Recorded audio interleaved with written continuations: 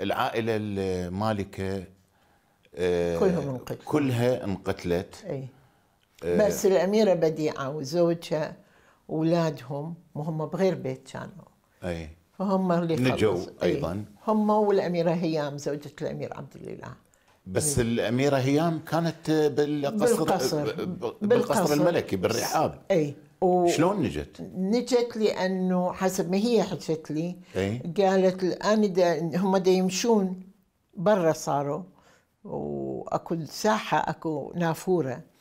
فتقول دا أريد ألحق بهم قالوا لهم أكو سيارات راح تطلعكم. فتقول دا ألحق بيهم.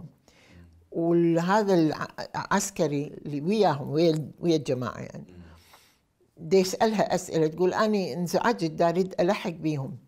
فهو بعدين قايل له الامير ربيعه أخوها الأيام قال له أنا دا اخره لين أعرف راح ينقتلون. أها. فقلت ليش هاي تنقتل؟ هي مو من يعني هي زوجة الأمير فحاولت أخلص. هي زوجة عبد الإله. إي. فجتها الرصاصة هنا بال- بالورك أظن. مم، بالفخذ. وبالفخذ وغمى عليها. ومن قامت فجوابي لكل من يقول إنه الملك كان عايش وعبد الكريم حاول يخلصه فحسب قول هيام من وعت الملك يمها نايم رأسه مقصوص بالنص و... شو اسمه كله على هدومها. فخلي يبطلون هالحكايه إنه عبد الكريم يريد يخلصه كان.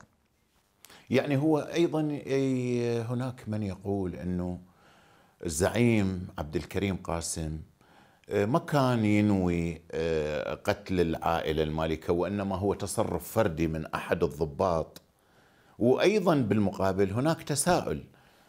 يعني إذا لم يكن آه، عبد الكريم قاسم آه، راضي على آه، مقتل العائلة هل أجرى تحقيق مثلا؟ لا لا و- و- و- ليش ما حاسبه؟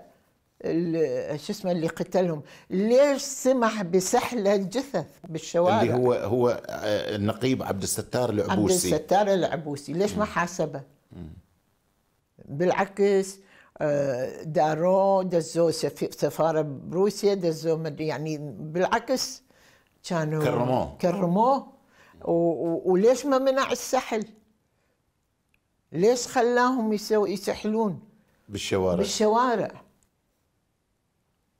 ليش خلى آه، قصاب يجي يقصب الأمير ويوزعه على الناس. وين كان عبد الكريم؟ نايم؟ وين كان؟ نوري باشا. بدا يسحلوه بالدرب وين كان عبد الكريم؟ نوري باشا السعيد. اي شنو يعني شلون يريد يطلع نفسه منه؟